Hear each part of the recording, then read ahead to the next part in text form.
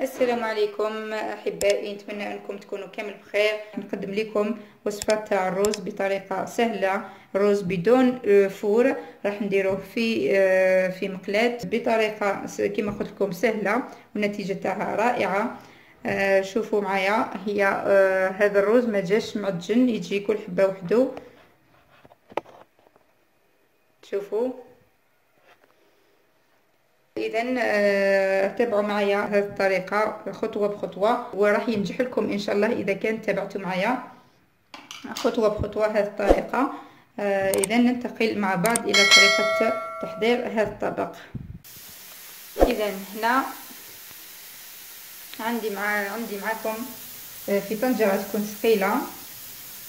حطيت فيها نص بصلة مفرومة. وهذه آه، صلصه تاع دجاج كنت حمرت فيها دجاج في الفرن. يعني هذه اختياري أنا فقط فضلت لي حبيت نديرها نديرها نبدلها بالزيت. يعني هنا نقدروا نديروا الزيت مع مانغارين غرفة تاع مانغارين وشوية زيت ونحمصوا فيه البصل.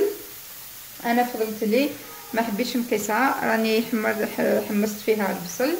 هنا عندي عندي زوج فناجل روز. هادو كيلت بهاد بهاد الفنجان تاع الحليب كل وحدة وبواش تحب تكيل. هذا الرز مختو في الماء لمدة ساعة وصفيته واخترته مليح. راح نقليه مع البصلة.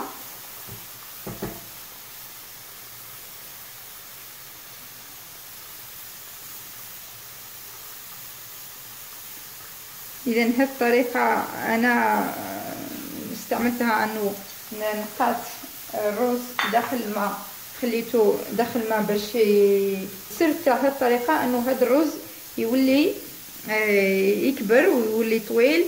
آه، خاصة إذا كان الرز استعملناه من نوعية اللي ماشي آه، ماشي خشينة ماشي النوعية اللي صغيرة. إذا راح نقلو جيدا هذا الرز مع مع البصل وشوية فلفل حل.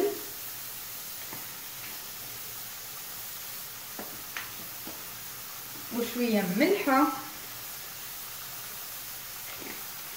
أنا ما نكثرش الملح لأنه في الأخير راح نضيف آه راح نضيف آه تاع الزيتون راح نضيف آه مرقة تاع عفوا راح نضيف مرقة تاع الزيتون.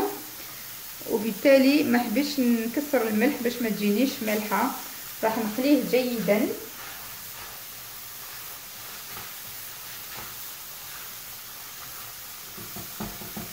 أهم مرحلة في هذا الرز هو أنه يتقلى جيدا.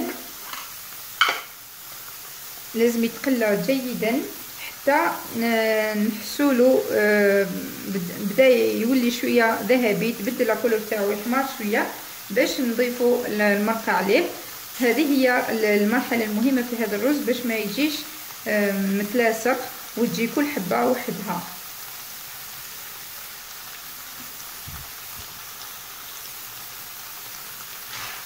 غنخلطو مرة على مرة. هنا ضفت نسيت ما قلتلكمش ضفت شوية زعتره اللي تحب دير الزعفران ولا الكركم باش يتبدل لون الرز دير. أنا ما نحبش نحب نخليه هكذا لأنه كي نضيف عليه المرقة راح يتبدل ال couleur automatiquement ويولي الرز آه، هكذاك احمر rose راح نقليه جيدا. ونعاود نرجع لكم. هنا بعد ما تقلى جيدا شوفوا معي كيفاش تبدل اللون تاعو. رجع آه، محمر ذهبي. هنا عندي هذوك الفناجل اللي كيلت بهم الروز. درت زوج زوج فناجل الروز. راح ندير ربع ربع فناجل من المرقة داخل هذا الرز وهذا ربع فناجل تاع المرقة راح نقسمهم. عندي زوج تاع آه، المرقة تاع الزيتون اللي كنت طيبته زوج فناجل هكذا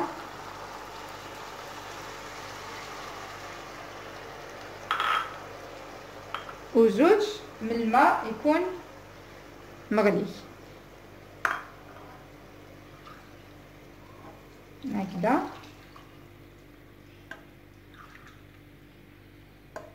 هكذا تسمى ربع فناجل تاع مرقة في زوج من زوج فناجل تاع روز.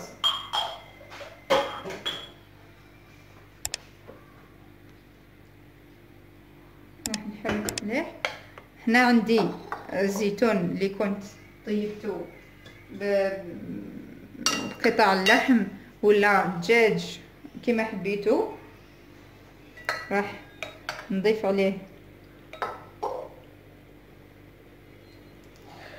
نصفيه لأنه مانيش حابة نكثر له من المرقة. نضيفه داخل الرز وخليت شوية على جهة باش نسكو فيه نسكو به الرز هكذا. هكذا يكفي. نغلق عليه نطفو عفوا نقصوا من النار لأقصى درجة يعني على نار تكون قليلة. جدا. ونخلوه يطيب.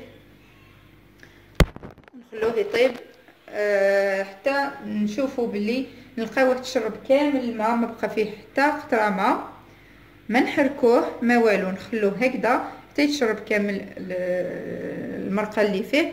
ونعاود نرجع لكم اذا ها هو تشرب كامل الماء المرقة تاعو. شوفوا. باش تشرب كامل المرقة. نشوفوا نحاولوا ندخلوا مغرفة ولا أي حاجة. نبقاو تشرب كامل المرقة. شوفوا معايا كيفاش كل حبة وحدها. راح نحاول نقرب لكم الصورة.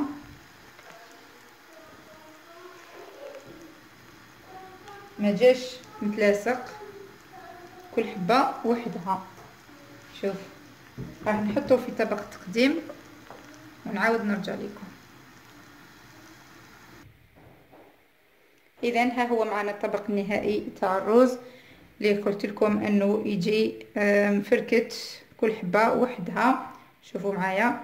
ما تجيش ما يجيش متلاصق في فيما بعده. آه والسر اللي كما قلت لكم إنه يتحمص مليح في, في, في الزيت والمنقارين يتقلى مليح مليح مليح حتى يتبدل لا كولور تاعو باش نضيفوا له المرقة.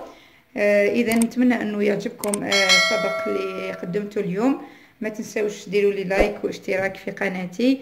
آه وصحة فطوركم آه وإلى اللقاء إلى وصفة آه أخرى إن شاء الله.